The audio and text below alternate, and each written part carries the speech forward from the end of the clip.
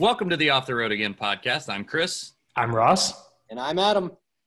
and I figured out which way to point on my screen, even though it doesn't look like it's correct on your screen. We're recording my screen, and so I pointed him. So And with that, with that point, we welcome Adam back to the show.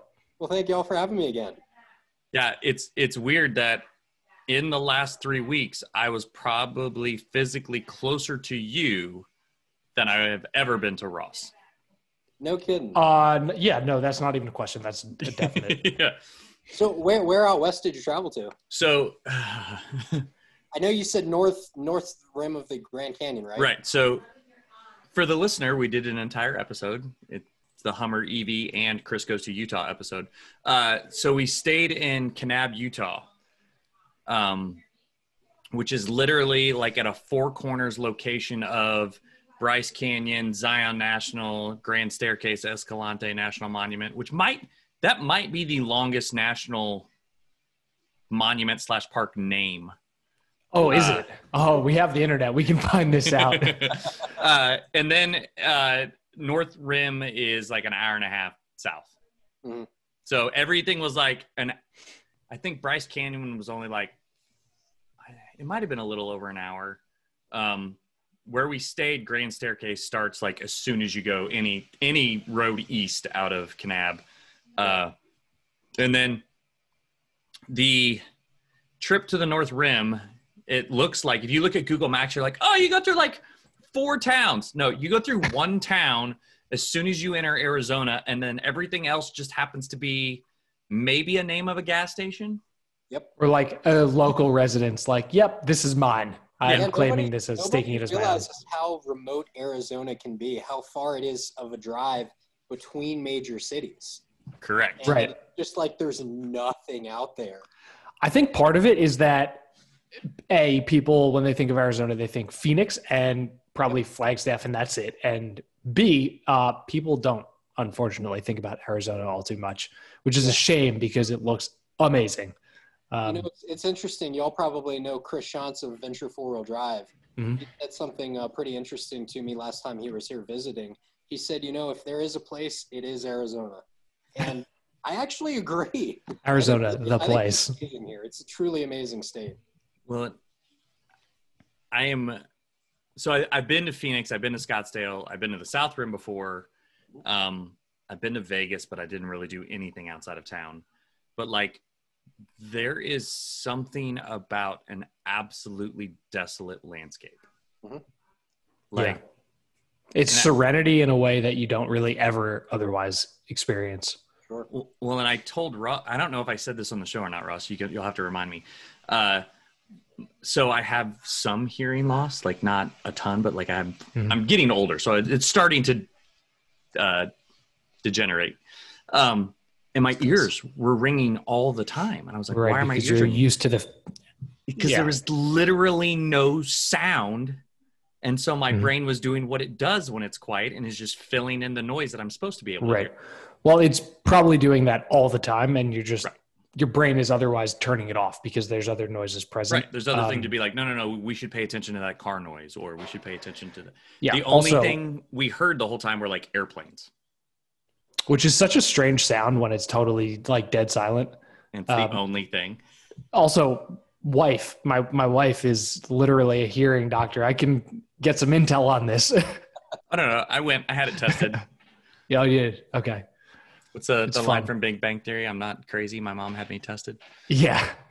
Uh, okay. Update the log, and I don't think this is a uh, necessarily a national park, but it is called the Fredericksburg and Spotsylvania Country Battlefields Memorial National Military Park. That is the longest one.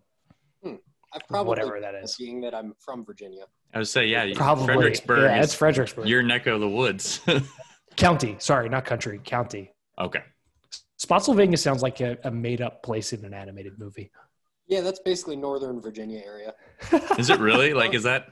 Yeah, Spotsylvania. Yeah, that's that's kind of. Uh, I believe Spotsylvania specifically is, if it's not off right off 95, it's off uh, Route 17. And what's interesting is that living in, you know, being born and raised in Virginia, the terrible traffic used to be north of Fredericksburg, and Fre- no- Fredericksburg is about 55 miles exactly north of Richmond. And Okay. now all of that traffic, because it just keeps growing, the Northern Virginia area, now all of that traffic is in Ashland, which is only 15 miles north of Richmond. so it used to take a while to hit that traffic, you know, going north to DC. Now it's only about 15, 20 miles out of Richmond. Wow. It's Yeah. the uh, natural progression of overpopulation. Precisely. So, anyways, let's hit some news.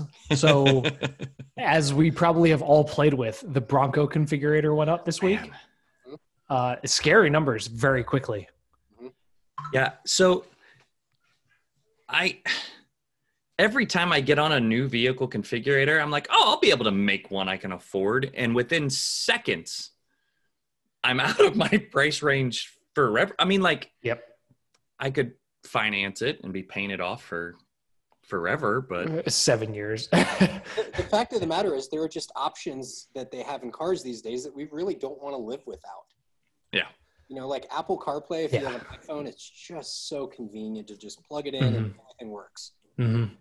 well, And especially on a configurator where you're sitting there, you're going, okay, well, I already optioned for this. You know, I got heated seats and a heated steering wheel and heated wipers and, you know, a, a butt tickler or something. And Right. like, You know, an, an extra three thousand dollar option, what, an extra twenty five bucks a month for the payment, maybe. might be exactly. a little too information. So that's how I justify that stuff. Say, I, I might want to know more about the butt tickler. That sounds very interesting. you would. Everybody wants to know more. oh, it's the, the line from uh, Starship Troopers. Do you want to know more? God. Yes. I'm doing my part. Uh, the cheapest Bronco as a four door is $33,000 before you even start to build it. I feel like that's kind of reasonable, though. Well, and, and that's where my I was kind of leading us down the road of like a, a regularly optioned mid-size sedan starts at like 35.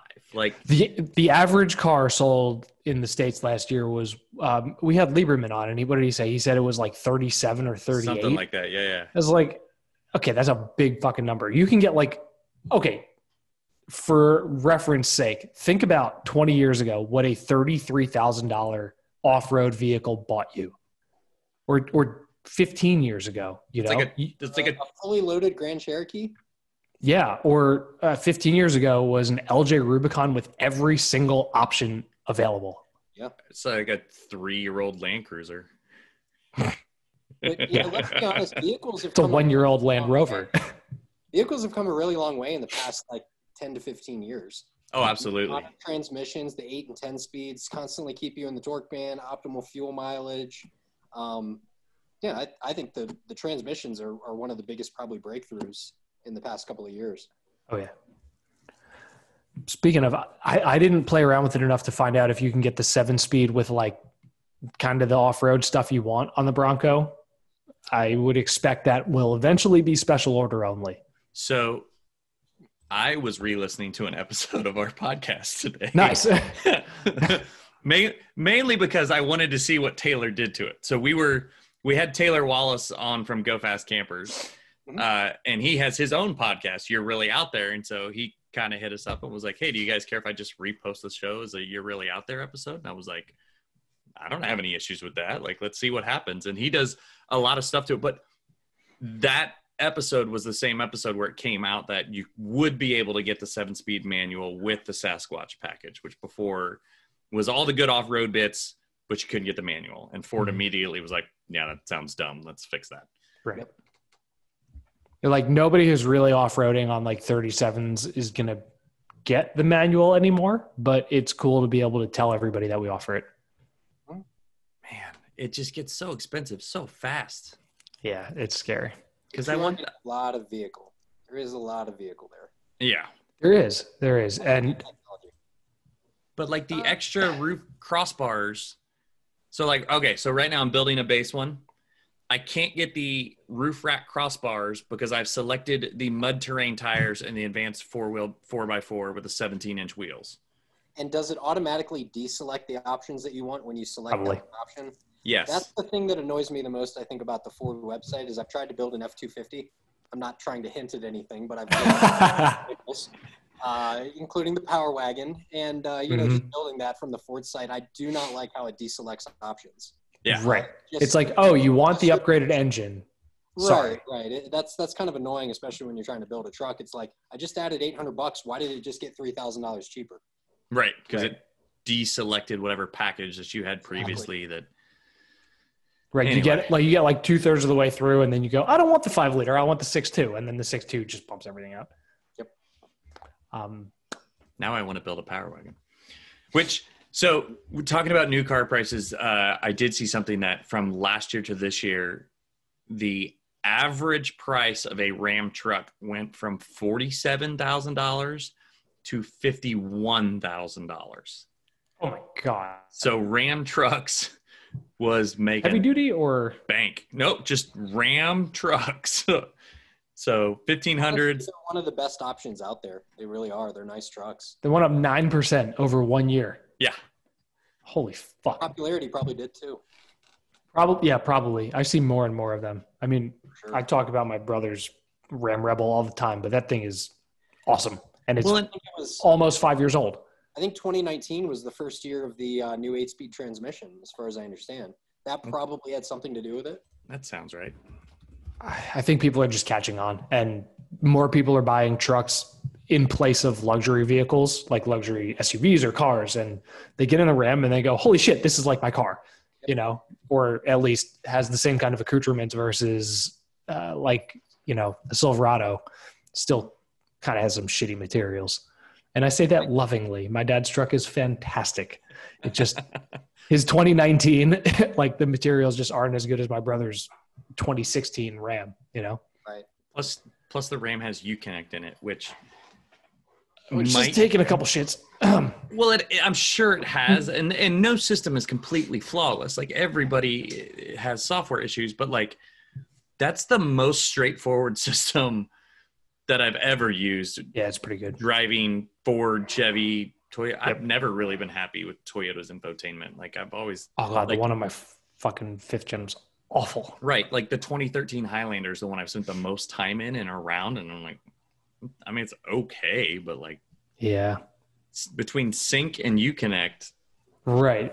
That was one of my problems with the the Heritage Edition. Was like, okay, this is ninety thousand dollars. you know, the the infotainment in my parents' Grand Cherokee, which was like forty, is ten times better. because it's And- Uconnect based. you okay, and, and given and not to poo-poo FCA at all, but like their Uconnect unit, the actual whole interface died twice in the first thirty thousand miles, and had to be replaced under warranty twice in thirty thousand miles. The Toyota one will probably outlive us. Let's be real. Um, All right. but I don't. It, it's such a wide swath of where tech is right now on new cars. Considering I turn 40 next week, I don't really want to think about a uh, entertainment system outliving me, even though I know they will. Knock it off. Yeah.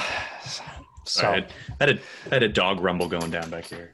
dog rumble. Oh. It's been, Sunday, Sunday, Sunday. it's been a zoo. Yesterday, I had kids running through the back of the shop. Dogs today. It's go time, and It's a Who lot quieter here. So interestingly enough, I was reading this article uh, on the the 77 Blazer E that GM just did, Mhm. which I think is, I mean, really interesting. Uh, reason being is, I, you know, of course, I think electric is, you know, the future. That's that's kind of where everything seems to be going. Uh, but they're basically treating this like an e crate motor. So it's an electric crate motor that you can swap into your old vehicle. And I was thinking about this probably six months ago. Like I've done the diesel swap on my XJ, and uh, you know, I was like, well, I guess if that becomes um, obsolete, so to speak, as in diesel's hard to find, oil is hard to find, maintenance parts are hard to find, etc. I would absolutely consider an electric swap for the vehicle. Reason being is, I mean, you have like 100% torque at zero RPM.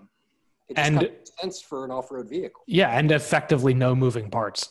Right, right, exactly. Yeah, very little maintenance, I would imagine. Um, Oh God, you know, considering the ba- the battery technology keeps up and batteries get smaller and lighter weight, it makes more sense. But I certainly don't want to put a thousand pounds of battery in my vehicle just to move it down the road. right, an electric XJ would be like a perfect Icon vehicle in like ten years when Icon eventually is doing XJs. Mhm. But I mean, you could do so much with that. might not even be ten years away. Fair. It's like That's five fair. years away. How much does what's an XJ? What's what's okay? So what's an uh, base XJ weigh, and what do you think yours weighs roughly? Um, I think base is around like 32 or 3,400 pounds. What the fuck? Uni- Unibody construction, and it, I don't know when the last time you were in an XJ was. They're tiny vehicles. They are really deceptively very small. Like, I don't understand like how people dealt with how small those vehicles are. Were people just smaller back then? Did we get, just get bigger? When Yes. I I grew up, my parents had my my household like when I was a baby, my parents had an XJ and a YJ. Yeah. And those seemed like vehicles back then, but they're they're not by modern standards by any means. Uh, you know, narrow track, narrow body, but uh, yeah, I would say 32 to 3,400 pounds ish. And if I had to guess what mine weighs now, I would say I'm probably somewhere around 4,250 ish. Even so, that's Yeah, what I a mean, Grand Cherokee weighs. motor maybe added 50 Stop. pounds over the stock four liter. Is it? Holy and shit! and uh, then I've just literally got three and a half inch lift suspension, 31 inch tires, bumpers front and rear, and a sleep platform and two refrigerators. right. So yeah, Forty two hundred pounds by modern standards is like nothing. Yeah, yeah. Well, I mean, the XJ, I think the GVWR is pretty close to that, if not that. So your your the curb weight I found was 3,300. So you crushed that. Wow. Yeah. Spot on. Yeah, I, I know my XJs. Grew up with them. Yeah. But uh, Your extra. yeah, yeah. I mean, it's it, the weight seems to be fine right now with with the diesel motor. Of course, I'd always like to you know take weight off of it, and I did end up selling my rooftop. Well, we can get into that in the next subject. I thought we were still. We're still so, but as as Chevy brought this up, like I wrote a, I wrote, I wrote a post for for Hooniverse like forever ago, and now I can't find the date on when I posted it. the year was So literally almost a year ago, October 17, 2019, because Electric GT came out with their version of an electric crate Mhm. engine, and it even looks kind of like a V8. It's got the Yeah, that one was so cool. It like actually was mocked up to sit like a V8. It was Yeah. so rad. Oh, Adam hasn't that been mean part it of works screen with the sharing yet. stock motor mounts for the gas motor potentially? Yes, they Yeah. they are like Yep. they they went full on for crate engine and i'm trying to share the screen and talk at the same time and it's not going well so and this is they they had it mocked up for an fj62 i think they had it mocked up with an fj40 um but they they literally were like it'll fit in anything and for them each god i'm gonna i'm gonna use the mouse to talk this is stupid um, sorry to the listeners like each section listeners, yeah. here of of the front you can then add an additional section behind oh, so like you can double the amount of the electric motor that you have in there just Mhm. by adding i gotta see if i can find one That's so was. cool. What was the air cleaner about? It looks like there's like a fake air cleaner on the bottom there.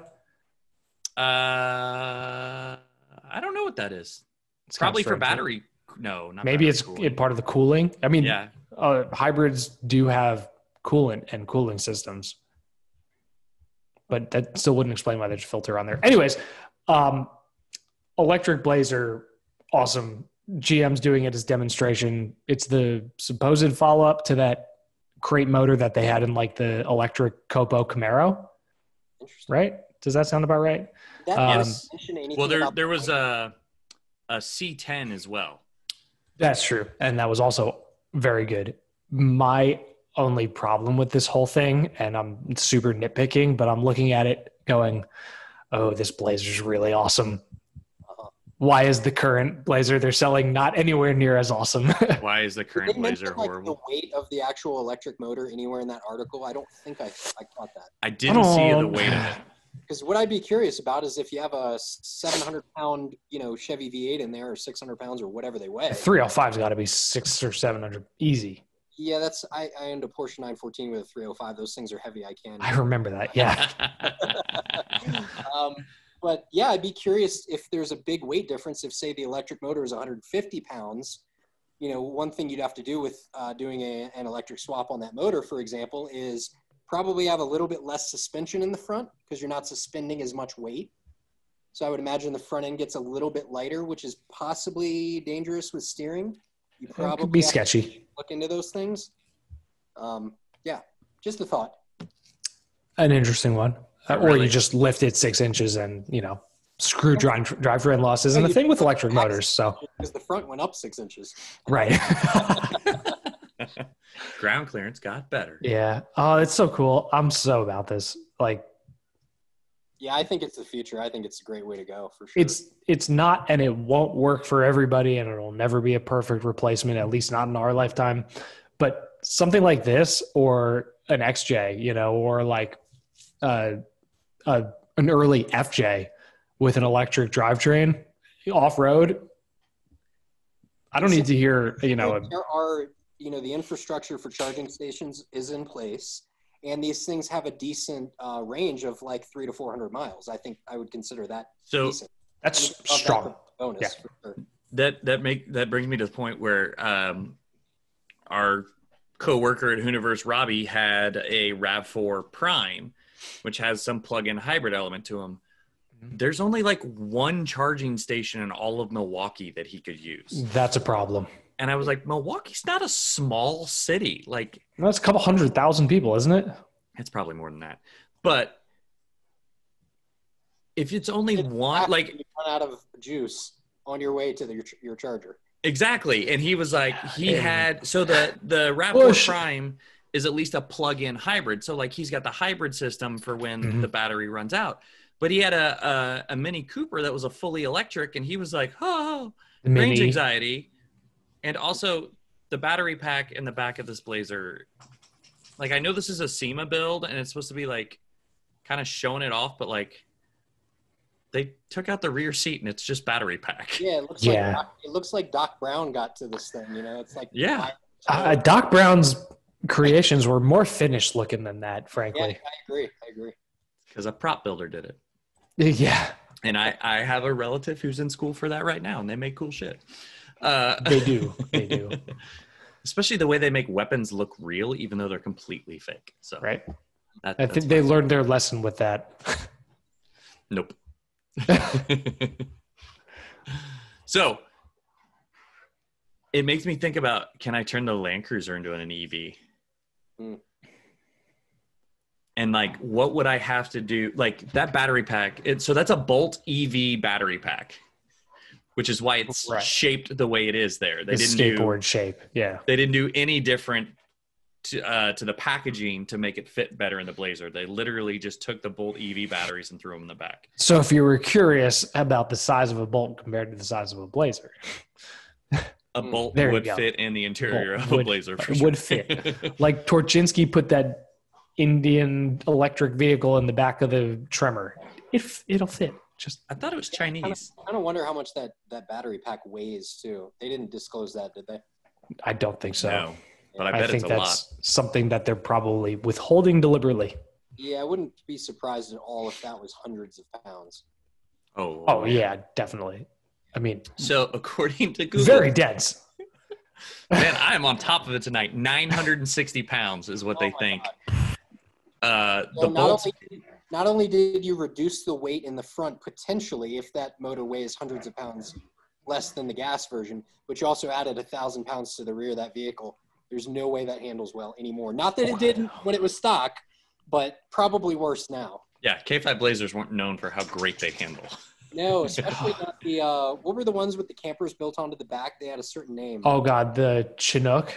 Chinook. Nope. No, no, no, no, No, no, no, no. no. That was You're just a trim. That was a Oh, trim. You're thinking of the Blazer Chalet, Chalet. and then the that's the one. GMC Sierra El Grande. we talked about this like a month ago. I know, but the Blazer Chalet is definitely what we're thinking of. Yeah, that's the one where like literally the uh, the front wheels were just about off the ground when you were going. They were. There was so much weight back behind the um, you know the rear axle. Oh god, it's just a wheelie truck. It's fine. Oh man, I Um, messed up the Jimmy. It's the Aw. GMC Jimmy Casa Grande. I apologize. It's large, large house for those who aren't. No, never mind. Thanks. uh, no, I've been studying Land- Italian lately. That's not Oh, even well, close. eh, they're not that far. I mean, some similarities, not really, but uh, EV Land Cruiser would be pretty awesome. If it got like, if you can milk like 350 out of it on a charge, that would be pretty We're freaking talking awesome. like a 200 series, right? No, no, I'm, I was talking Chris's about my 80 my series. 80 series. Oh, the 80. Yeah, And it- yeah, that'd be a great swap. If I could get 250 miles range out of that, that would be better than what I'm getting out of the gas engine right now. What are you? So you all know What? we have an 80 here, a, a work truck, a work vehicle for Adventure Imports. Do you need another one? It's technically well, yeah. So it's an HD, it's an HDJ 81. So it's Okay. right-hand drive what and the diesel. fuck is that? It's a right hand drive turbo diesel. Yep. Oh, there's. I drove past one of those the other day. Yeah, find those things are awesome. But uh, that thing has an extra. I think it's a. I think it holds 52 gallons of fuel. So it has the long range 52. America auxiliary tank. I believe it does. And uh, yeah, I think I got something like. God, it was like 700 miles on that range. Holy shit! Just driving around Arizona. Um, it was just incredible. I can't remember exactly what it was, but I think it was in the 700. So awesome. last Saturday, Sam, my wife and I went up to our college town to attempt to go hiking feebly because every single hiking spot was literally overloaded. And there's this one like random little shop that always has weird imports and, you know, like crazy projects. Um, some of the off road stuff they have is absolutely wild. And we, I made the turn and was trying to like avoid hikers crossing the road and she kind of poked me and was like, "There's a Land Cruiser over there, and it's a turbo on the back. What does that mean?" And I looked quick, and it was an 80. I was like, "Oh, that means it's a good one. It's a really good one." That means it was Which- imported. That means we didn't get the good stuff. Everyone else did. Half the stuff this place has is never ever titled here. And that was we we talked to uh, John Watson, who's John Prawley on Instagram, who had an, uh, a diesel 80 series and now has a diesel Troopy. But his his take on the turbo diesel JDM stuff was very different than what I've heard before, and that was that um, they rarely would drive them on like interstates and stuff. They would be in like city traffic, and they would never really break in the diesels the way they needed to be broke in. Um, and so when you then import a JDM uh, turbo diesel, sometimes there's a bit of Yes. a when it needs um, motor work. yeah valves and seals and things that had Yeah. never really been set Piston rings. properly in a in a an appropriate break-in period. And so I hadn't heard that before about turbo diesel. Yeah, interestingly enough, the HDJ one that we have, uh, that motor's been not completely rebuilt, but gone through. Gone through, right? And I'll tell Gone you, through. there is- Gone through is a nice way of saying I've done everything except break it down to the bottom of the block. yeah, I think the original, like the the you know bearings are you know pretty original in that thing. It's um, I don't know what else is, but uh, I mean that, that I'll I'll be honest with you, that motor runs fantastic. It's balanced. It doesn't shake. It's not noisy. Yeah, well, it is a little noisy when they're on the top. But, um, yeah, it's it's just a great motor. I think it's is it the it's not the one UZ, it's the one HDT. I think is that Hmm. designation of motor. that An sounds like it's something. Might be wrong on that, but I think it's the straight six turbo diesel, four point two liter, four Or point two, yeah. HD One HDT. One- HDT is a six-cylinder, 12-valve turbo diesel engine. Uh, Straight six. Yep. Straight six. Yeah, yeah. Peak torque at 3,600 RPM. Yeah, That's yeah, how you it's know a, it's a diesel. It's a slug until you get into the turbo. Uh, It's either a diesel or Bentley. so peak torque I'm reading is 1400 RPMs. Okay. Peak horsepower is 3600, but peak Oh. torque is down low. Idle. yeah, exactly. As a diesel should. Uh, yeah, fair. Fair. That's why they redline at 4000. If true. I think uh, I think my turbo diesel actually revs higher than that. I think people can you can rev them to like between five and six. Interestingly enough, I remember you saying that and remember being shocked. yeah, yeah, it's a it's a super unique motor, but um, yeah, which is back to running good. I just did a uh, little tune up on it the other day, so let's Did let's talk about it. Yeah. It's it's Oh, gone yeah, through yeah. some changes. It's not the same. Yeah, so uh, uh, a year ago, well, actually, a little over a year ago, I got done with a uh, OM617 swap, which is a three-liter, five-cylinder uh, Mercedes turbo diesel out of a 1983 300D sedan Mercedes that I swapped into the XJ. Uh, stock, it puts out about 125 horse and about 195 foot-pounds. This motor has about 250,000 miles on it, runs fantastic. Compression is is as good as it gets. Um, It's there. yeah, it's, it's been a great motor. And I once I got it in the XJ and got that thing out on the highway, I was seeing about 26 and a half, 27 miles per gallon. Jesus. And you're on. You said you're on 32s, 31s actually. 31s. Oh my god. One inch tires and uh, 410 gears, and she's locked front and rear as well. But um, yeah, it's mated to a uh, AX15 five-speed transmission, and Mhm. uh, the adapter kit came from a company that uh, luckily it, for me exists. There were two companies that made adapter kits, and I went Right. One was in Pennsylvania. Yeah. one in Pennsylvania. I will not mention the name because this guy is terrible and he doesn't care.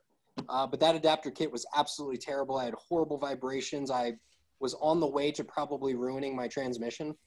Uh, luckily, a guy named uh, Joe, he's uh, based in Nebraska, has a company called Doomsday Diesel, and he developed a kit that is actually done correctly. Um, you know, is is centered. Everything is is correct the way it needs to be, and I've had that kit in uh, in the Jeep for about nine thousand miles now.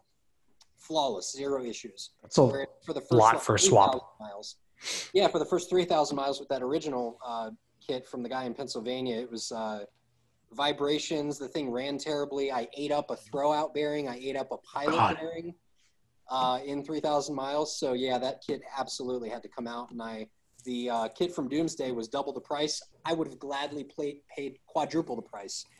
yeah. I, one of the weird things in the off-road world is you really do genuinely get what you pay for. Exactly. Well, I mean, the problem with the first kit that I had, it was the only one on the market at the time. Luckily, Mm-hmm.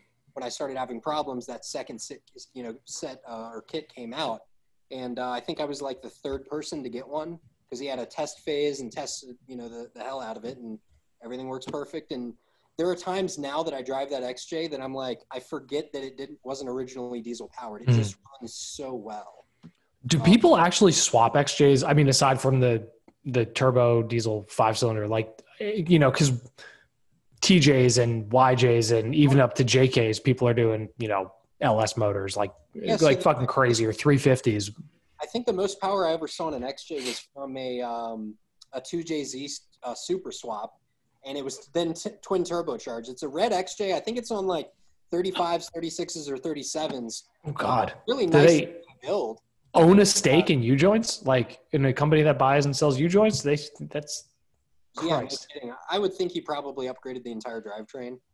Uh, but it was a really well done XJ and high power XJ. I don't really understand why you want a high power lifted XJ. A little bit of a waste, but uh, yeah, usable torque. plenty All it's about. there, People do, uh, you know, LS swaps in them. Um, I don't even I know haven't if I've seen seen that. anything too crazy outside of V8 swaps and diesel swaps, but Mm. you know, there's there's probably somebody that's put uh, um, uh, what's the the um, the 4BT Yeah, thousand the nine Cummins. motor in an Yep. XJ. Can't tell you how bad It is- that is. Unbelievably heavy. The 4BT. Absolutely agree. Great motor, but just Yep. extremely heavy. I remember a long time ago, I, I used to have a Tahoe, uh, GMT 800 Tahoe, and somebody was swapping a 4BT into like one of them with a blown 5.3. And they were like, yeah, it weighs a little more, by like 400 pounds. Yeah. And you're slamming that in the nose of the trunk. Not good. Totally agree. I have probably mentioned it before. I have a Land Cruiser Associate here in town running a 6BT in the front of an 80 series, Wow. and he has custom coilovers made. To That probably pull out. rides like shit. I, he has never complained about it. He had custom coilovers made. So, That. I'm sure he's got plenty of torque though. oh yeah, he's got tons of torque. Yeah, which the gas versions of those trucks just they just fall flat on their face every time. Yeah. Mhm. So So, you updated your radiator. I did. So I went with a um, it's a Mopar HD radiator, which is about three quarters of an inch thicker than the stock XJ radiator. So it fits in, you know, the stock positioning and everything. Oh, good. I also upgraded my, I removed the mechanical fan from the diesel engine, which hopefully I gained about three horsepower, but you know, I can't really tell. uh, and went with these uh, electric, these triple row electric fans from Mishimoto. And Okay. What that is, it's kind of like an aluminum shroud with Mhm. 10 inch fans across the radiator. And Huh. each fan is supposed to move 950 CFM per fan. Holy you've crap. that Triple. And what's OEM? What's like- that? What was on there? What was the rating prior? Uh, with the stock fans, I don't know, but I can guarantee it wasn't anywhere near these. Quite a lot less. Yeah. give you a, a specification. It increased airflow at idle 41 and 41.9 percent.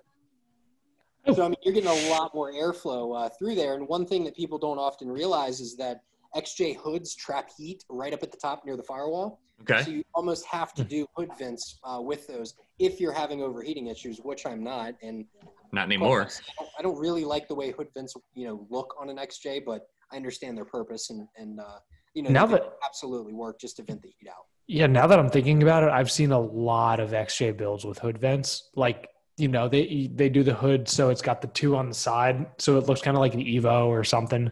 Right, right. Now that I'm thinking about it, that is uh, common. Yeah, quite common, but luckily I don't have those issues. I mean, the Jeep will get up to, you know, 210. There's a pass coming out of Phoenix uh, where you, I think, ascend, I don't know, something like 1,500 feet in, in a couple of miles. Maybe it's 2,000 feet or something like that. But uh, yeah, the pass is like a 5% grade and it's like five or six miles long. And I was ascending it in 97 degree heat in the XJ right after putting that fan system on there. The engine never got hotter than 210 degrees. I've got about 195 degree thermostat in there. So Wow. that's telling you how effective those fans are. That's and my pretty good. on the floor in fourth gear, you know, going I think 55 or 60 up that pass. Um, and yeah, the the motor never overheated, did pretty well. So I think Mhm. between that radiator and the fan system, I've got cooling worked out pretty well for here in Arizona, where we see some serious temperatures, especially southern Arizona down in Phoenix area. You can see 117 degrees at its at its hottest. Holy fuck! I have never experienced anything like that. So the interesting thing about about experiencing heat like that, and and the thing that I didn't realize until I actually experienced it myself, we went down to Phoenix one day, and I think the high down there was 117 degrees that day. And you, of course, you know, a lot of parking is covered because you don't want your car sitting in that because it gets to 140 degrees in the vehicle. You know, it's you know not very Yeah, you melt your ass off. that's where the metal on your seatbelt will scald you and leave a mark. Yeah. It's kind of like Gosh. touching a frying pan real quick. Yeah. It's but the other interesting thing is if you have a, a vehicle like uh, a Jeep Gladiator, which is what we were in, where you have exposed metal on the interior, when you get in and you start driving the vehicle after it's been sitting in that amount of heat and in the sun, the heat is radiating off of that metal inside of the vehicle because the entire vehicle, which is metal, is heat soaked. Yeah. And it's just an odd Mhm. feeling to like be sitting next to metal and you're like, why is that uncomfortable?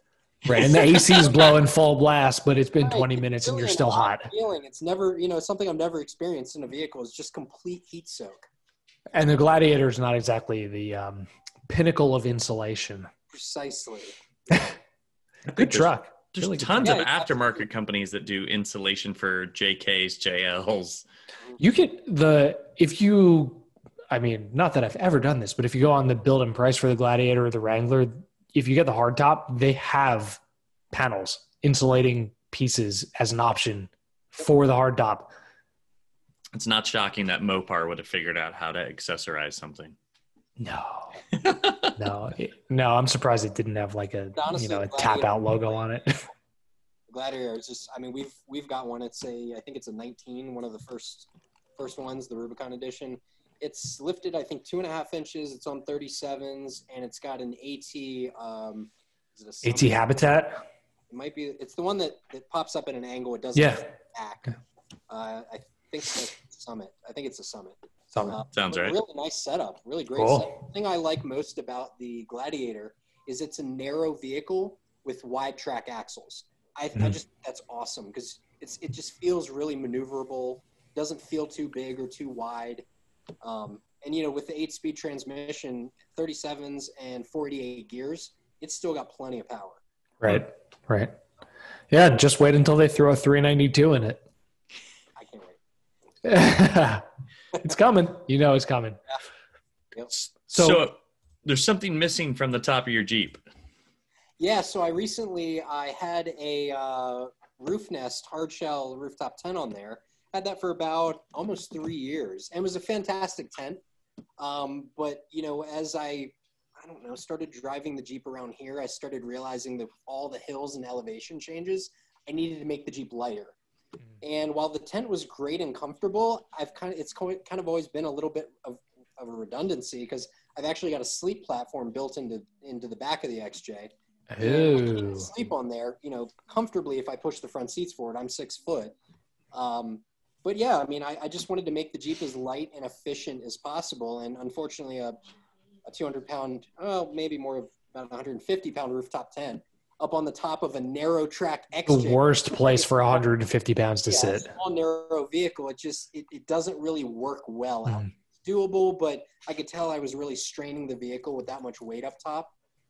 So uh, it really makes more sense for me to just go with a roof rack, and I went with the uh, JCR JCR's new roof rack, um, which is you know just a super nice setup. It reminds me a lot of the Prinsu for Toyotas Does Yeah. it really does? kind of fits the vehicle. It looks like it was made for it. Whereas you have racks like the Front Runner, which are kind of universal to all vehicles. So I don't really like the look as much, even though they are quality racks and they are a great product. Uh, I just didn't really care for the way it looked as much. Where, um, you know, the that one just fits the vehicle so much better. It's got a ton of accessories, Mhm. a lot of support. So I think what I'm going to end up doing is I've got my MAXTRAX mounted up there now. I'm going to do a an ARB awning on one side. The only reason for that is they have the awning room because I'd Mhm. like someplace to have a shelter. And Right. then on the other side, I'm likely going to do. In fact, I already have these things. So I say I'm going to do them, but I they're it's coming. Uh, I actually have a CVT shower awning to go right above Nice. your corner where my onboard shower system is on that exterior panel. Okay. So I can Okay. literally open that up, take a shower, you know, all those kinds of things. Because I'm one of those guys that when I go out there, I don't really like to go more than two days without a shower. Mhm. You know, one of those Mhm. things. You know, it just it's it's just kind of gross when you go that long. Yeah. You know? Especially You feel in the different. desert. Like, yeah, you're just living in your own funk. That's not fun. That well, Living in your own funk. the dust gets everywhere. it does. It does. Like, good showers. Yeah. Yeah, just to knock the you know dust off. It's one of Mm. those showers where you wet yourself down, you soap yourself up, and you rinse yourself off. I've only got ten gallons, so it'll shower. It's cold. It's gonna be cold. It's fine. Yeah, I mean, two gallons of water is enough to take a shower if you really ration it. And believe it or not, we were I was this was years ago when I first put the, put that system in, but I was leading a group, uh, you know, on a on an expedition on a trip, uh, a, a guided trip, and uh, there were a bunch of people that wanted to shower. I was like, well, I have a finite amount of water, but we actually in ten gallons got five people showered, uh, which was you know pretty interesting. And that's all hot. That's a hot water system, by the way. It's not just cold. Oh water. wow, that's luxury. Changer in the engine bay that runs the fresh water through one side and then coolant through the other through uh, what's called a Duda Diesel uh, heat exchanger, 20 plate, I believe, if I remember correctly. Stainless steel and copper. Hmm. It's extremely efficient. I mean, you can literally get water coming out of that system hot enough to make coffee if you wanted to. I mean, it's, Wow. engine's Yes, running at please. 200 degrees. You're getting 200 degree water coming out of that thing. Hell yeah, So yeah, that's amazing. a really great system. Yeah, but there is some beauty and simplicity. Like Yep. a rooftop tent, a hard shell tent is about as simple as it gets for camping or overlanding, but streamlining the whole thing is it's yeah, is game changing. Yeah, yeah, I totally agree. So the uh, the kind of the idea is just to make the Jeep as efficient as possible, um, while still kind of maximizing all the gear that you need. You know, when you're out there for two people. Because I mean, I pulled the rear seats out, so the XJ is just a two seater at this point. Um, but I I think it's capable enough the way it's set up, or or will be set up here shortly, to sustain you know somebody out in the middle of nowhere or two people out in the middle of nowhere for I would say up to ten days. Okay. Um, you know, considering you have dry food, there's plenty Yeah, of food. yeah. You've got the fridge freezer console, which is a Dometic. Between the Yep. front seats and then under the uh, rear sleep platform is a Dometic drawer fridge, which is I think 31 quarts, if I remember Okay. correctly. So, D- I've only heard good things about Dometic.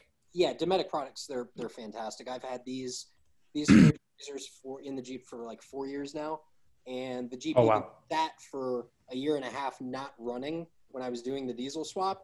And as soon as I had everything connected back up, those both those fridges fired right up like nothing. Nice. So yeah, testament to uh, how great their products are for sure. Does your ARB awning uh, room, does it have the floor?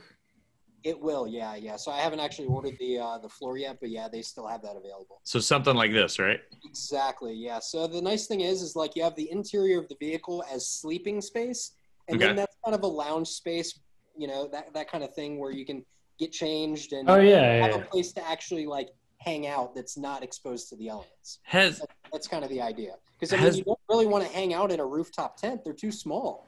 right, yeah, yeah. You don't spend, and you can't invite You're going up anyone there to else up sleep. there. Yeah, Right, right. You just go up there to sleep or change or whatever. But with the awning room, that actually gives you a little bit of space to actually do something. say the the Instagram couples make rooftop tents seem like it's a great place to hang out. Yeah, it's very glamorous if you're an Instagram couple. But that's because I just got done doing it. Like spit take.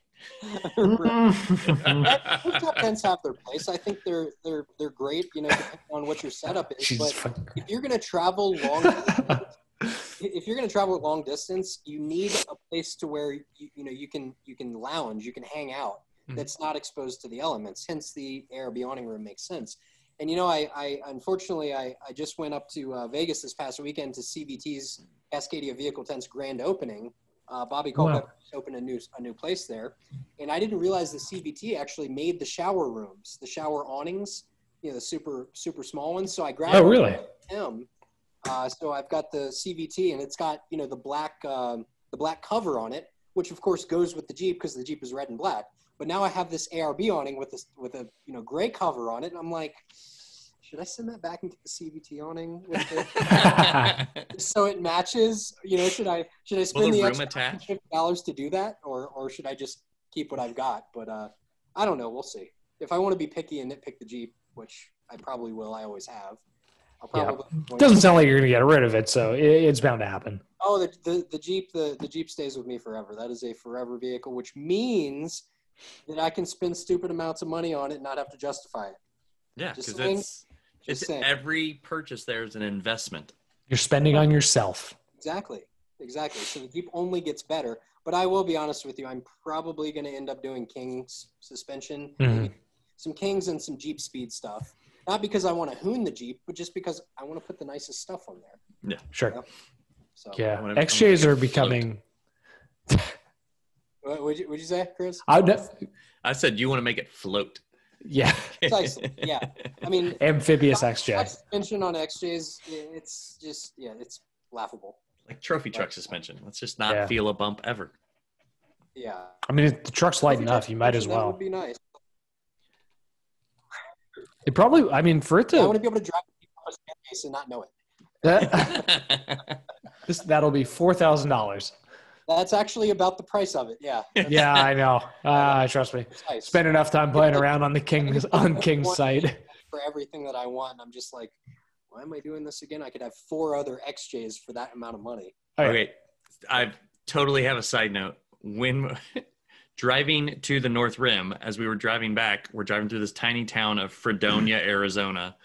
There's a Oh boy, used your favorite. yeah, there's a used car lot there, and I swear there are like seven XJs on the lot, Really? all lined up. Like it was kind of nuts. Do they have any Wagoneers with the quad headlights? Can you I- I put dollar don't know. deposits on any of them? I'm sure you can.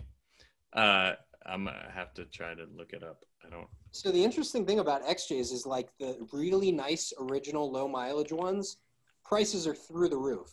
On some of them, I would say prices are like think- Comical. Know- well, not I wouldn't say comical because I, I understand you know the value of a really nice original XJ. They're only original. They're only nice once. Uh, Sure. but literally, sure. the prices have gotten to the point where they're now costing more than the original MSRP. For example, I, I used to have the Mhm. original window sticker to my Jeep. Unfortunately, I lost it in my move out here. I think I told y'all about that. Mhm. Um, yeah, U-Haul lost my shipping container when I moved out to Arizona. That was a Good. lot. yeah. But anyways, I think the original MSRP on my XJ, it's a 94 S 5-speed 4-liter base model. Does have air conditioning, luckily. Uh, it doesn't right now, but it will. Um, but uh, I believe the original MSRP was like 18.3 or something like that. Sounds about right. And now you're seeing clean, low mileage. When I say low mileage, like 80,000 and under. Right. Uh, low mileage XJ, XJs go for you know 20 grand. I think the highest one I saw was a 92 Briarwood with like 21,000 original miles. Yes, I need to contact them. Oh boy, those look like they were uh the white ones at least look like they were like police or fleet vehicles Yeah, those sort. are all 97 or newer as well. It looks like Yeah, they are. They're the updated ones. Um very cool. I'm It's really creepy that we can do that. It is. I can, it is. can remember I- a random spot. I'm on Bring a Trailer because I know there was an XJ recently. So that that's actually Kanab. Uh, that's not Fredonia. Also, I searched XJ on Bring a Trailer and it brought up an entire page of Jaguar Jaguars. XJs. What do you Yeah. think, dude? It's bring a trailer. But then again, the XJ12 was a cool car, and they're still cheap. A 12 cylinder They are. They are. car, yeah, I'm in for, not- for like three grand. Sure. We're not fancy enough for them though. We're talking about XJ Cherokees. All right. Um, Adam, there's Okay. there have been recent discussions that have gone through Hoon- Hooniverse Slack about just cheap horsepower.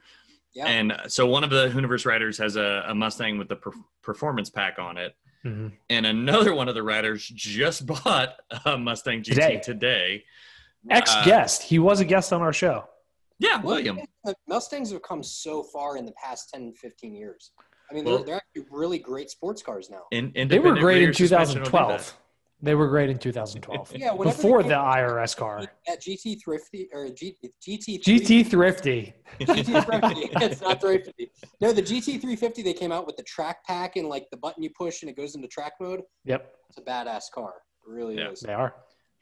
I, they they have piqued my interest of just like when when I first started writing about cars was around 2010, 11 and 12 and some of those Mustangs even then were just they were a blast to rip around in. They're so good. And I'd have the boys in car seats behind me just giggling. Just So interestingly enough, that cheap horsepower thing you mentioned, I don't know if y'all keep up with um, some of the on the YouTubers, uh, the guys that are doing Car Trek, the guys from uh, VinWiki. I think it's Tyler Hoover and Tavarish.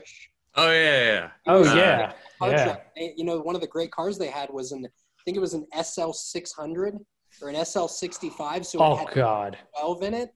Yep. It's like a 700 Oh, foot pound of torque V12 in that car. They didn't make a whole lot of them, but you can pick those cars up for like 15 grand. and it probably What? costs seven hundred dollars per mile to run. That sounds about right. You know, aging AMG cars, some of them are really good, some of them are really bad. I think the V12 car was probably not a very good one.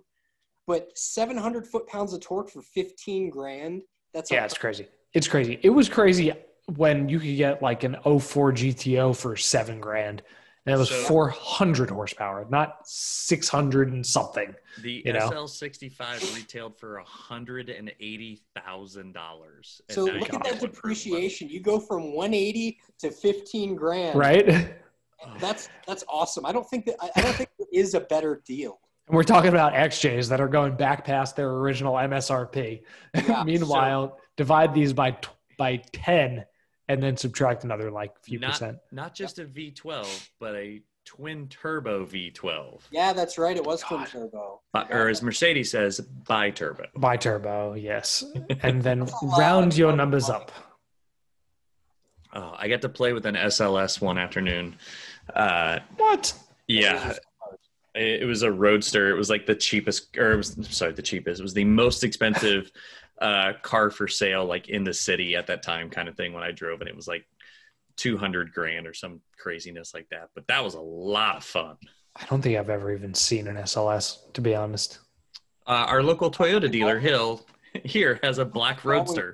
It Toyota not- dealer? Yeah, the Toyota dealer. Uh, No, the coupe was the one that with the door doors that do this. Yeah, That's the a Roadster is Silicon just a Valley joke. regular- Doors that do this. That's the convertible. Gotcha. Yeah. yeah. Oh man, now I want to know if I can find that picture. Good God. Um, wow, we are so tangented. That's fine. Uh, yeah, no, but in, in terms of cheap horsepower, having owned a Challenger, not one of the good ones, it was a five seven. It was it was a Challenger, and having probably put close to a thousand miles on the S five fifty Mustangs, and probably also having put five hundred miles on fifth and sixth gen Camaros, um, Mustang all day, every day, no question. Yeah, Not even a question. Camaros, like I still can't see out of the blind spot from the. Don't they have a really high door sill? Like They do. The the greenhouse, the- line right here. Yeah, the door sill is here and the, Yeah. the roof line is here, and you have about six inches of real estate to look around. And all of the journalists will tell you that the Camaro is the best one because it handles the best over eight tenths. You don't drive at eight tenths unless you're like driving in a canyon or on the track, you know? and I don't have any canyons around me, and there's only one track. So Yeah, I have Uh, I have two tracks. I can't afford going to either of them. So you actually have a car that can be driven on track too. I can, but you know what's a lot cheaper than track driving? Autocross. I can autocross a whole season for the cost of half of a track day. Wait, what kind of car do you have? I daily drive a 2013 Miata. Oh, it's a great car. Yeah, it's fucking awesome. I love it. Great cars. It is. I that's like America's sports car, except that's kind of the Mustang and Corvette. But yeah, it's it's Japan's British sports car. Yeah. And It- I I don't know. It's the I, answer. it is the answer. And There I- has to be a vanity plate somewhere on a Miata that just says the answer, right? That's not even a question. I- I'm sure it exists, but it's the car's so good. I I fucking love that thing. I've owned Challengers and Corvettes and WRX, and I just it starts every time I get in it. And watch tomorrow, it won't start. But change the oil, put the roof down, and like nothing else. It doesn't care about anything else. It's so similarly, I, I bought brand new a 2007 Honda S2000, and I loved that car. Loved that. if car. I sold my Miata tomorrow, I would buy an S2000. Not even a question. So make sure it's an 04 or newer. Those are the ones that have. I- The the 99 to 03s were also good. AP ones are good. I love AP ones. AP twos are supposed to be like the pinnacle of front engine rear drive sports cars. Yeah, the AP1 would rev about another thousand RPM above the AP2s, but yeah, I think the AP2s had like nine foot pounds of torque more, maybe. Which in a Honda that means a lot. yeah, that's 10%. But yeah, that was a fantastic car. I regret selling it. I had it for two and a half years, I believe, okay. uh, and managed to make That's a a clutch last that long. Because I mean, you really have to rev those things and pop the clutch to get them moving. Right. Isn't power only really above like 4,000, 5,000 RPM? Yeah, that's about right. That's about Yeah. right. That's one of the only things I've heard about Miata being better than S2000 is that like, oh, there's actually a little power down at the bottom. And by a little, I mean like really a little, but it's Three foot you- pounds. Yeah. Like I don't have to rev over like 2,800 RPM to drive it every day. 2800 seems like a lot. Unless you are driving a, a five cylinder diesel. Actually, 2,800 is a lot. So Well, yeah, 2800 is yeah. I think boost with my turbo with the stock turbo comes on at like 1500 RPM, which is oh actually high. But the the motor just revs. I mean, what that motor was like originally, I guess, designed for is high speed autobahning. So Right. all the horsepower is up high in the in the rev range for that diesel. It's not a bunch of low end torque. Mhm. Which people get in that thing, and you know, I like the mechanics at Summit 4x4, which is our local uh, four wheel drive shop every now and again I'll take the Jeep up there to have the tires balanced and rotated. Um, and they'll drive it and they're like, What's wrong with this motor? I'm like, Nothing at all.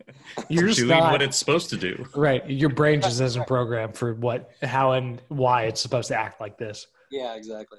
So So Do you? Nope, you Sorry. go. Nope. So I was going to say, I see your shirt. Do you run Trail Tech equipment? Because my brother two weeks ago No, installed a Trail Tech unit in his. four by four, different company. Oh, different company. Yeah, this is a uh, just a builder in Richmond. Good friend of mine. Oh, that's so weird. Nice guy, but yeah, Trail Tech four x four. They they build uh, you know trucks in Richmond. He's getting a free shout out. Yeah, right. Actually, Free plugs. NASA- I'll give NASA a shout out. To That's- Dude, that's that's great. My I literally uh, started watching the right stuff on Disney Plus uh, a couple nights ago. oh, shh, don't say anything. I have to start it tomorrow. No, no, After i watch Mandalorian. I'm only I'm kind of upset, Ross. There's only four episodes. What? I don't know if they're like going to Are drag they it like out. an hour? Like, yeah, like they're an hour each, but like that's still. I'm like only four. That's not enough. I need more for whatever reason. I'm all I'm down for vintage space program. yeah.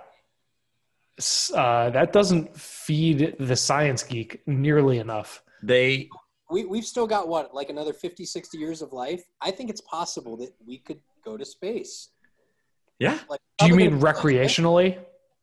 Yes recreationally i privately. think that would be amazing Well, it was just over 60 ish years ago that we actually did go to space. So, yes, I, I believe it. We have other things we have to tackle as a society right now. Yeah. Yeah. Like not never mind. I'm not even gonna go into it. so That's many okay. options. Just gonna Yeah. myself that is not what this podcast is. about. Landmines. Any Open ended. Fucking rumor rakes all over the place. Yeah. Speaking of Um, Arizona, uh, Well done. where have you? I mean, I've seen pictures. You, it looks like you've been getting out some. Is yeah, just- I mean we're not we're not totally shut down. I would say we're probably one of the more open states.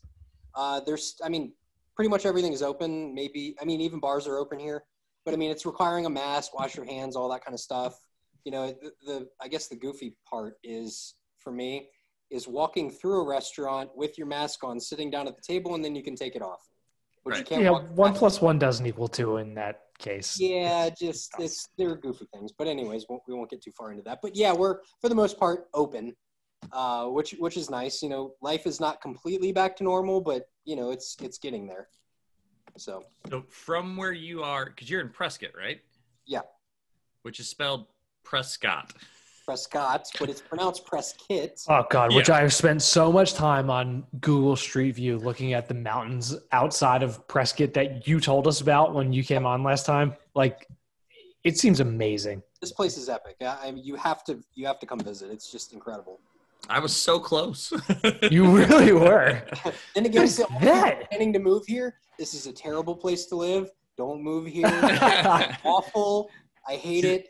And if you're an outdoor person, this is the worst place you can come to. See that that's how I feel about Kansas City right now. We have lots of friends and and and uh, I've, I've added a lot of friends recently that have moved here from California or the East Yeah. Coast or things like that. And I'm kind of like, I don't want anybody else to come. And they're like, well, I'm from somewhere else. I'm like, well, welcome. I mean, you're, Yeah. you're here, so And meanwhile, in the Northeast, it's just yeah, it sucks. Don't come here. That's it. So- I got nothing else. Like, is there a body of water near you guys?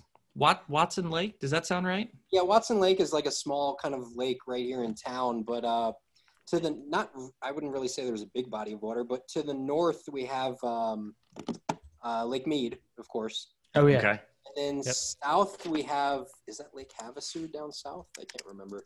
I have not Uh, been able to explore as much of Arizona this year. looks like Lake. Lake There's really some Pleasant is dead south of you. Yeah, Lake Havasu is like way southwest of here, I believe, or west of Prescott. It's rather. west. Yeah. West. West. West. and there it, there is no road west to get there. No, that's Mhm. the interesting thing about Arizona is you're kind of driving, you know, around and up and over things, which kind of reminds me of South Africa, interestingly enough. But yeah, there's no really road through things. It's kind of you're you're dealing with the terrain more than anything. Yeah. So, Like there's a road that looks like it goes southwest out of Prescott that looks not not very large. Uh, it's 89. Yep, 89. Yeah, Which- that runs south out of Prescott. That's that's a two lane road. Um, So and that looks like it would tie into 90. Nope, tie into. yeah, that goes well, goes down 60? into 71 and then 93, and 93, I believe, turns into 60 going into Phoenix. Yep, So if you go west, then you get up to Havasu. basically. Which Havasu like Havasu looks like a Midwest lake in that it literally looks like they just dammed something up and it flowed into the hills. I haven't actually yet, unfortunately. Yeah, I've, I've lived here since February and have yet to explore the entire state. But you know, this is a bad year to do that, of course. Yeah. That's not too kind for that. Right, but this winter, I'm absolutely planning to go s- to southern Arizona because it just gets warmer. Right. You can literally drive away from the cold. Yeah, that's the nice thing about Arizona is you know you want snow, you can go up into Flag and you can actually ski up there if you want. You know, Yep. Flagstaff, and then You can ski in Flagstaff? Oh yeah, yeah. There's a ski resort there. Really? Oh yeah. Yeah, I think the highest peak in Flagstaff is like eleven or twelve thousand feet. Uh, Literally, I know fucking nothing about this part of the country. Flagstaff. Yeah, yeah, dude, you're a long way away. Definitely I read up on with Arizona. It's a super interesting state. Um, but yeah, I- you I get a geography down lesson south every episode. basically. So the places I'm planning on going is uh, Tucson down to Tombstone. Okay. Old, old school town down there. Uh, Tombstone is really cool. That As sounds in- ominous. Is that like Wyatt Earp Tombstone? Yeah, that's the same Tombstone. So uh, yeah, I mean, just southern Arizona is a lot warmer. You can go down there, hang out. I mean, it's only four to five hours to get down there, maybe. Oh, Tombstone looks awesome. Oh my god, that's a period in time place. Holy Yeah, shit. Uh, definitely got uh, definitely got forgotten by time, but it's a really really cool town. A lot of history. Dying to go there. That's pretty cool. And We have just a ton of open nothing like space around there. But Arizona is so vast, so huge, and It, it's and just a beautiful, interesting state. It really is. It, So- it's one of those. It's like a sleeper state. You know, like you don't think much of it because there's no huge major city or anything. You know, not of the scale of the way the automotive industry talks about Detroit or Los Angeles or San Francisco or Seattle or something. I mean, But- Phoenix, Phoenix is a massive city. I think Phoenix is a big city. population is like what three and a half million, I believe. Yeah. Is that high? Is that right? it's that big, yeah. Oh Yeah, wow! It's a massive city. Um, But I think I think Yavapai County, which is the Prescott area, if I remember Mhm. correctly, is like eighty thousand people. So the Oh, wow. Prescott area is not very you know populated or large um, compared to Phoenix. Phoenix is, in my opinion, a hot zoo. melty, it's- melty zoo. Yeah, just, So- I- just amazing. Like two hours south of here, it's 170 degrees, but you come up into Prescott and it's 75 to 80 degrees. Yeah, it's just amazing that elevation change. I was gonna say, what's the elevation difference? Uh, I believe it's like 3,000 around Phoenix, and up here it's about 53 to 5,500. Okay, that's appreciable. Yeah. So, but makes a big difference in the weather. And Mhm. I just personally, I think Prescott has one of the best climates there is. no, Uh, that's 'cause we, we do. It does get cold here. I mean, down at night, like two nights ago, three nights ago, which interesting story about that.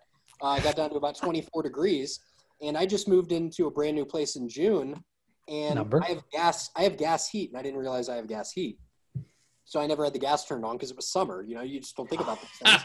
So I go to turn the Mm. heat on the other night, like, why isn't this working? I know I have all my utilities turned on. I thought heat was electric. Well, turns out it's gas. Never had the gas turned on. So I think I woke up to 53 degrees inside my place. oh It was yeah, a little, uh, a little bitter, but the shower was nice. yeah.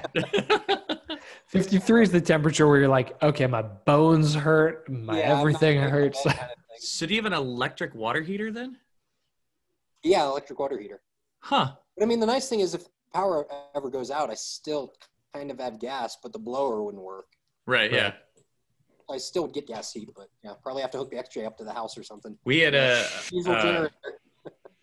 we had a fireplace in our in our old house that was a, a gas fireplace, but it was powered by a wall switch, right? So you just flip the Mm. switch on or off, and the fireplace would turn on and off by gas.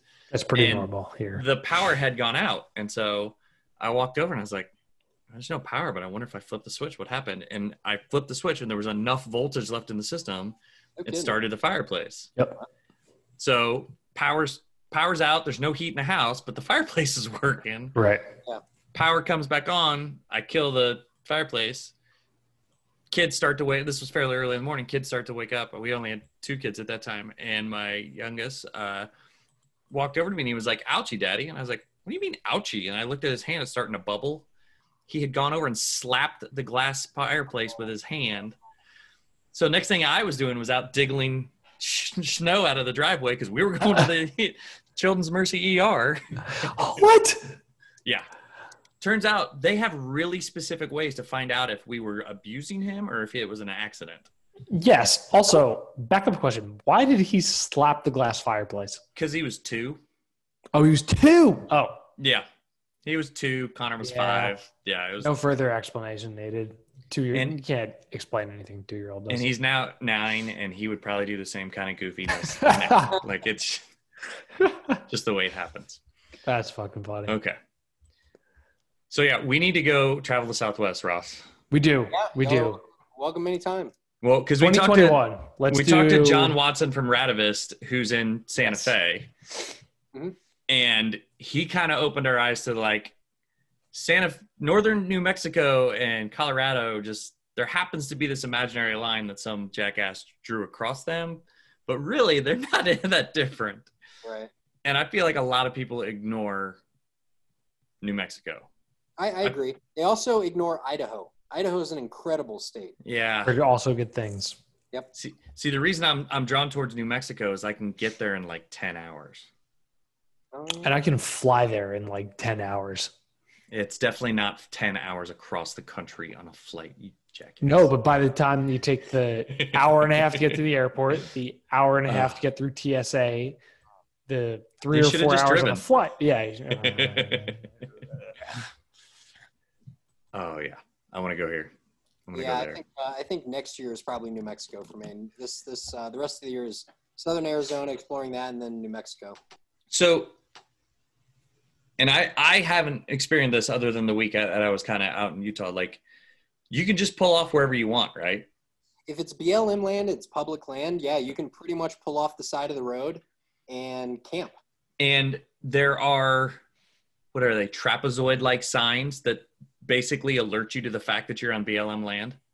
Yeah, there's What? some of them. Um, They're can- like field office signs that they're like you're now in this field office's responsibility of area. Right. so it's like on the jurisdiction changes. Pretty Yeah. much. Yeah, any any public property is usually pretty well marked because people just don't want you on it. So Hmm. usually a lot of you know private property signs if there is private property you know backing up to BLM land, for example. But uh, Uh, by the way, Humphreys Peak is just north of Flagstaff at twelve thousand six hundred feet. yep, that's the one. Holy shit! That is actually short of being an airplane. About the highest that I've ever been is Certain areas 12.6 it- in Colorado. see that peak. Oh From wow! Prescott. Yep, and that peak is oh I don't know 90, 80, uh, 80 90, 100 miles away. Yeah, that's a long way away. Whoa. Yeah. All right. So 2021, we'll do. We have to do Arizona in some capacity. Yep. I need to I need to get a fridge freezer sponsorship. Yeah. I don't I don't want to have to deal with ice in the desert. Beijing Dometic. Hello. Dometic, Yep. ARB, SnoMaster. Was it National Luna? hmm National Luna. Yeah. To- uh, what's, what's the other one? ARB fridges are really nice. Also, you mentioned Adam. You you mentioned the ARB uh, Angle, yeah. awning. I had an ARB awning on my on the fourth gen 4Runner that I had. It was awesome. Yeah. It bashed against trees and like limbs and everything, and literally didn't care. Yep. Tell tell him about your new fourth gen. Oh yes, I'm buying Chris's 4Runner. Did you get the V8? Oh, I'm buying Chris's. Yeah. He's buying my V8 4Runner. Yeah, literally. Perfect. That 4.7 V8, those things last forever. Well, it, sh- it it it should because I plan to keep it forever. Has So the uh, has the starter been changed out yet? no. Well, that's Is that a an issue? It, it's not an issue. It's just not a fun job because the starter is actually down in It's the valley. below the manifold, right? Yeah, yeah. oh, so- that's not that bad. Yeah, sees a lot of heat though. Which I don't know. does. I helped someone do crank position sensors on a on a V8 um, Yamaha V8 and an XC90 a couple weeks ago. That wasn't fun. Yeah. Yeah, I don't want to do that. No. I don't want to replace No. it.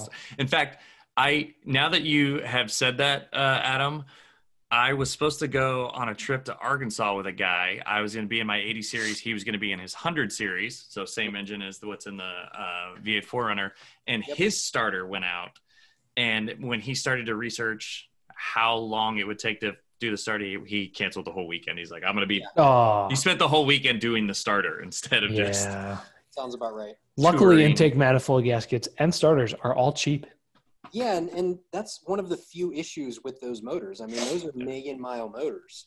Mm-hmm. Uh, if you really take care of them, change the oil, do all the maintenance, Timing that belt, water pumps, and just keep going. Timing belt, water pump. Yeah, that's it. And you you only do the water pump because you're already there doing the timing belt. Right, and it's only every like ninety thousand miles, Yeah. which my current commute is two miles. So Which we were trying to do the math, Ross, on how long we've had it. Mhm. I I think it's only been four years. She swears it's been five years, but I mean, four or five. That's and she's in she's in the room making fun of me right now. Hi, Sarah. Headphones, headphones. Five years ago, I think was right around when I bought my fourth gen. It was um, January 2016 was when I bought the fourth gen that I had. Was it? Yeah. Uh, what a trip that was. We had it before then because I have a picture of our our dog who's about to be five as a puppy, and Hmm. man, when did we get that thing? Exactly, dumbass. I know. Yeah, she's called me a dumbass. How do I math? she's like, I know I'm right. I am. No shit. Usually that's the case. So what else is going on, Adam? How you doing? Other than uh, other than having to go rescue your friends shortly. Yeah, I do have to head out shortly. but, uh, yeah, I mean we're we're, I mean MAXTRAX have been selling like crazy this year. Um, yeah, it's just been almost nonstop. But uh, yeah, it's uh, it's been busy. My hair's been on fire since I've been here. When did I get here? February 25th. Yeah, hair on fire since then. Yeah, right, So- right before lockdown. Yeah, I was gonna say great. right when everybody realized they can't fly anywhere or like leave the country Yeah. and decided that they could then you know go adventuring here. So Yep. it's probably been good for you, right? Yeah, I mean it has. I mean, other than you know things being closed down and not really being able to travel or wanting to travel a whole lot. Um, yeah, I mean, I'd say since June things have been a little bit more relaxed. Um, you know, it's not traveling Mhm. isn't really an issue. You just need to be careful. But um, yeah, I mean, I've I've been I haven't traveled as much as I've wanted to this year to really really explore, and that's been you know one because of COVID, and two uh, there's just a lot of projects on the XJ right now. It needs upper and lower control arms, so I've got adjustables ready to go Ooh. in. And I put those in, I think, on uh, Monday. Who, So- which uh, what brand? Ready. What's that? Say it, what brand? Uh, went with Rubicon Express, the adjustable. Nice. uppers and lowers. So yeah, I think that'll be Forever and always one of the like stalwarts of you know of Jeep parts. Oh yeah, yeah, Rubicon Express. I mean, I, I that was the first lift I put on my first XJ was a Rubicon Express four and a half inch. You know, with Mhm. adjustable arms and everything.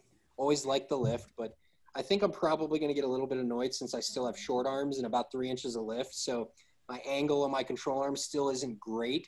So I've been considering doing something like a mid arm setup, not a full Okay. long arm, but lowering the bracket on the frame side, just so the angle, you know, is a little bit better. But I don't know. I'm still thinking through that, uh, if that would work, and you know, all those kinds of things. So. Mhm.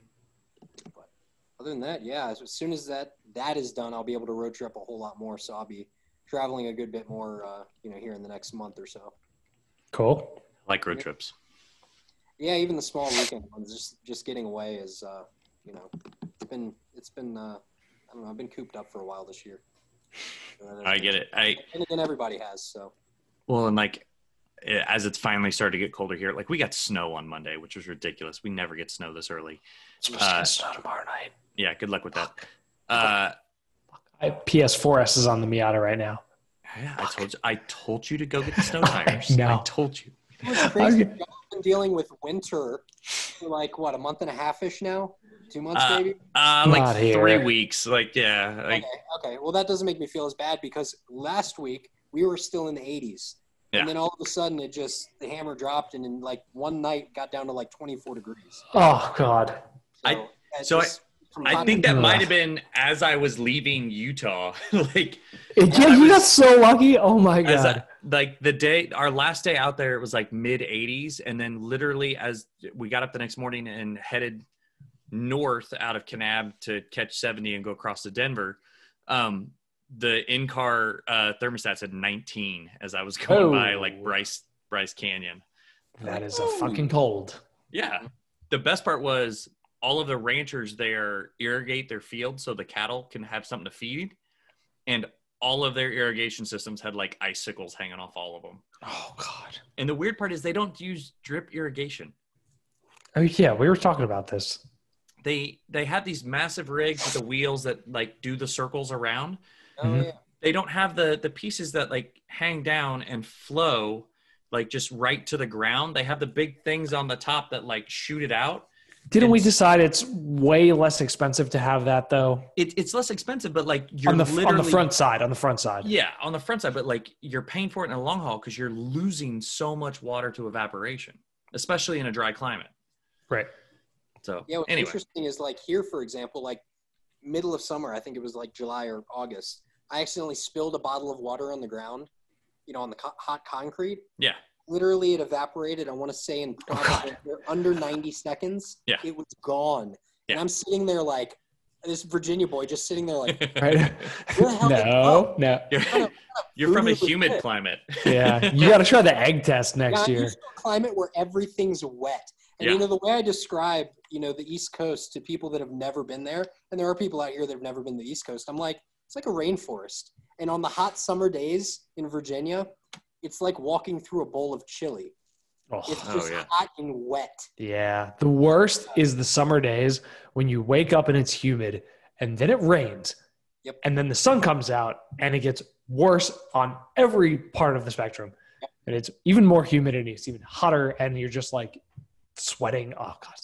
Yeah, I absolutely don't miss the humidity of Virginia. But what's also interesting is you know how you the, a wet sponge stays damp on for days and days and days on end on the East Coast. Out here, those things are dry in less than 24 hours. Yeah. You set a, a Oh wet God. sponge on the side of your sink, all that water's gone, and this is inside your house. Yeah. So dry skin is is you know that's a that's a thing here. You got to do the fried egg test next year. Just crack an egg on the sidewalk and see if it Yeah, cooks. yeah, I think I will. My favorite was like washing hands and having there not be like paper towels. Be like, all right, I'll just walk outside and it'll evaporate. Like it's not. It's What? literally. It's literally less than a minute kind of thing, and your hands are dry. Like Oh, this is unfamiliar. It's, it's we need to get Brain you out west cannot more. compute. Yeah, seriously. Ugh. It's definitely worth visiting the West. That's- See, the West is where I. Adam said two days. I think the longest I ever went was four days, and that was just reapplying deodorant every morning. Like. Mm. because you don't you don't really feel the sweat either like you'll sweat and then like 20 minutes later you're completely dry because everything's evaporated like it's really weird Yeah, I mean it's it's easier in the wintertime when you know you're you know not sweating during the day, so you don't need a shower quite as often. Um, but yeah, I still I still like a shower. I like to be clean. That's how I Yeah. that's how I start my day properly. right. Uh, That's your baseline metric for I'm a living, comfortable, like reasonably Nobody okay human being. to bask in their own funk. That's I'm I'm sure there there are people. Well, there are some are, you know fucking what? weirdos, Yeah, but they ride by that. People- themselves There's probably even a club for that. I don't know. i'm 100% sure there's a forum for that now probably. Yeah. what? Well, on that note On that note, you have to go rescue some people. I do. I have to head out here shortly. adam's gonna do the responsible thing and, and pick up some friends who've been out drinking so Yep. Yeah, I, I, I quit drinking about a year and a half ago. Just Oh, really? Alcohol just stopped agreeing with me. Mhm. uh, just stomach aches and make me feel sick and all those kinds of things. But yeah, I just quit and like now I'm the perma DD. So you know, my friends are, yeah, we're going out drinking. You want to come? I'm like, not really, but I'll be, I mean- I will babysit you if you would like. can i meet meet you in an hour and a half how's that sound guys Right. Do you pick them up in the Just XJ? make safe. Don't mind. Is it the XJ you take to pick them up, or is no it it doesn't something have else? rear seats No, Oh, it doesn't have rear seat. Oh well, you're drunk. Just fucking get in the back. It's fine. I have our I have our company gladiator. So Okay. yeah, sweet I mean, no complaints there. You're drunk. Just get in the bed. It's fine. Dude, that thing's on 37s with a lift, isn't it? Like, Yeah, it's like two and a half inches of lift and 37s. I think here soon, as soon as the AEV uh, suspension comes out, it's getting that, and I it's already got Kings on it, oh man, so it's, it's like dialed. And then I, I think an A- AEV snorkel with uh, pre-filter is on the way as well. awesome. So it's like I think the Gladiator, Mhm. even Yeah. though there are probably more expensive builds out there, like the guys that did the V8s and all that kind of stuff. But yeah, Oh god, there's one floating around with a Hellcat engine.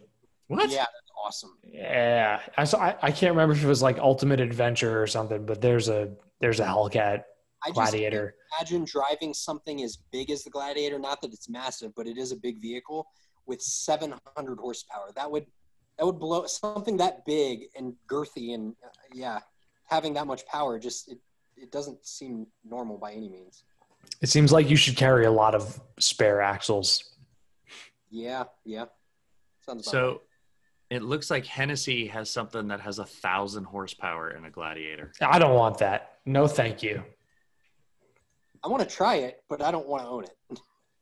It's called the Maximus. Oh yeah, I heard Maximus, about this. Yeah, I remember that now. which is kind of appropriate. I remember that movie. My question is, when you apply a thousand horsepower to probably pretty squishy suspension, what does that truck do other than huck over and then go? It does the stadium super trucks and lifts a front wheel. And Oh, that's sounds so much fun. I love stadium super trucks. We were talking do about it too. last night, actually. Oh, it's like It's- my favorite thing to watch. And the, you know, the I watch those. I watch like the reruns of those races on on YouTube. Oh, all the time. The best ones is from the racetrack in Perth, in Australia. Those we were guys literally talking about this 24 hours ago. other up. They jump. You know, they just. Oh, it- it's the Yeah. best racetrack for those super trucks. Say Perth is Western Australia, where things are a little rougher. I I personally prefer Adelaide because hmm. in Adelaide you get the camera shot of the trucks going by and the fans watching it, and the trucks are higher than the fans watching. Oh yeah, that's pretty cool. Yeah, I Just love that Australia shot. things. Yeah, It seems the, the most mischief that goes on in those races is at the Perth, you know, racetrack. It Oh, is. It is. It's total freaking mayhem. It's Oh, but it looks like so much fun to watch.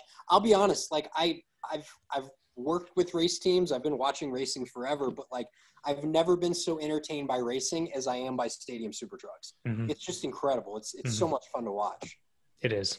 It is. They, they put on a fucking show. It's so good. They do. I just I love how many times like just the wonkiness that they all can like. Hold on, I've got the image to share. Well, just, Just the abuse. nobody's straight. those. Nobody's straight. Oh, good fucking god. Being able to land going 70 miles an hour that high and still recover and have a balanced vehicle blows my mind. Like, so that's obviously Robby Gordon in the front there, Oh, yeah. who's gonna probably blow a tire. I I, I like when the whole front of the truck flies off because the tires got into the uh, body. Yeah. yeah, yeah, exactly. I like that one. Oh, and that's uh, the other cool thing that Matty they don't do is when there's debris on the track, they don't stop the race. It doesn't matter. just hit it, yeah. Yep. Just hit it. It's so much fun to watch. Any other series, it's either you know yellow flag or like red flag. there's too many rules, and Yeah. and like I understand their rules because of safety. We don't want anybody to die or get hurt, but it just doesn't Absolutely true. seem like there's rules with the stadium super truck, which Yeah. is what makes it so entertaining. It's like racing of the past in current times. It's so good. Oh, it's so fucking good. the, just the full compression that they get. Just yeah. I wonder what that feels like getting the air off of those ramps and I, landing. bet, I bet the It up feels is good. fantastic. It's the the down that I'm not. well, yeah, that's usually how it is.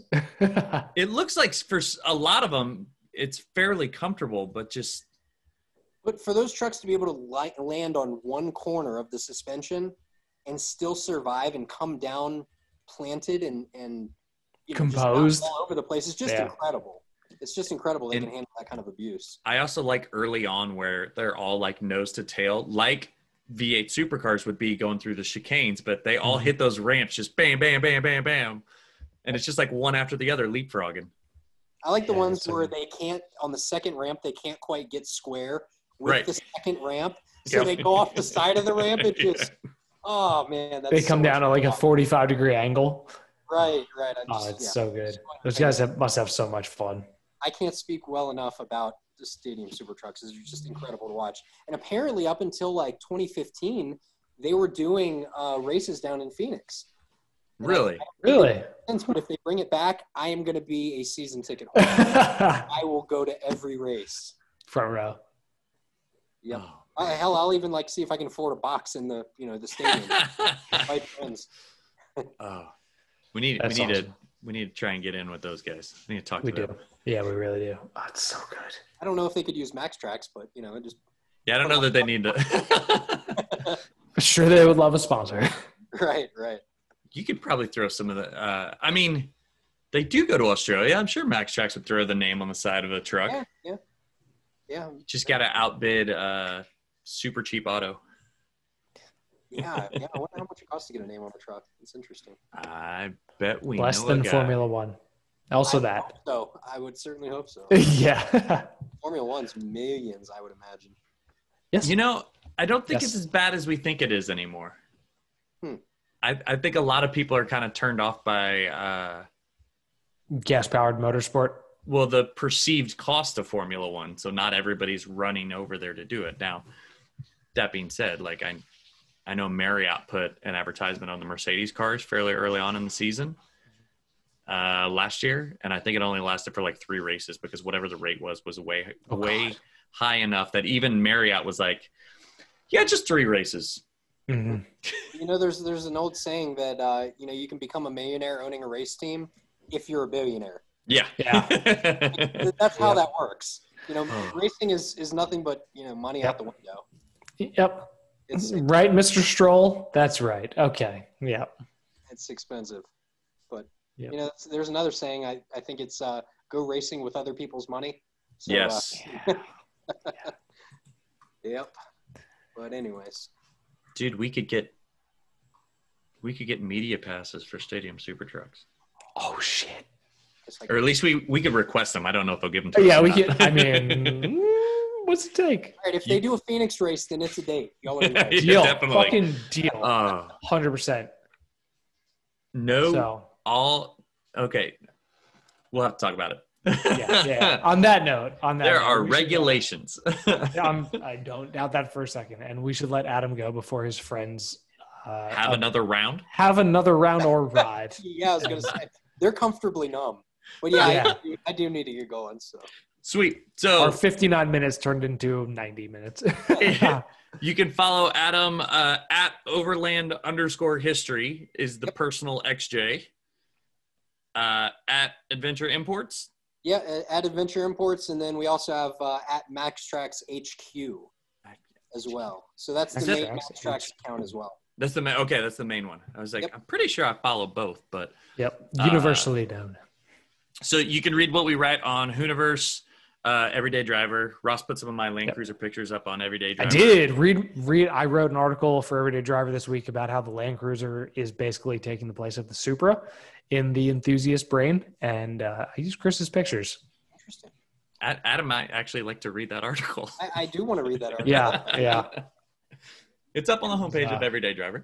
yeah. Uh, it is. Yep, I'm going to bookmark that now. do it. Uh, you can follow me at Overlanding Dad on Twitter and Instagram. Ross is on Twitter, but he doesn't tweet ever. I'm on. I'm on. I'm on all the social media, but I don't do any of it in here, so it's midpoint. You're not So- missing anything. No. Ross's Instagram is at no, not like the one from Friends. I have to say Yep. it slow so I can remember to include all of those appropriate syllables. Yep. I haven't opened Instagram other than to look at our own show's stuff in probably three months. Did you see the message I sent you today? There's a message waiting for you on Instagram today. It, oh it- God. Okay. Okay. It, it was really, it was just from Taylor, I think. Uh, oh. Clearly, I did. Sorry, Taylor. Yep. Anyway, that's it.